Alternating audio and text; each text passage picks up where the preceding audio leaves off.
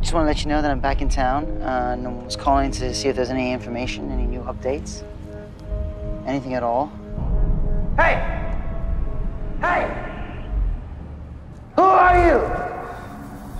What are you doing here? My name is Leonard. And my wife was murdered a year ago on her way home from work. Where have you been working for the last eight months?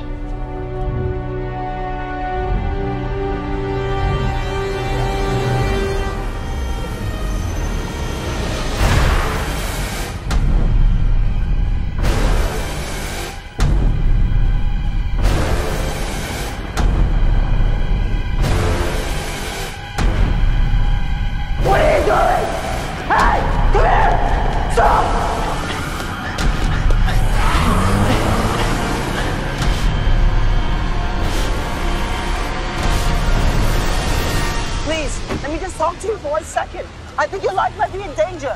Oh, look, he's a dangerous person.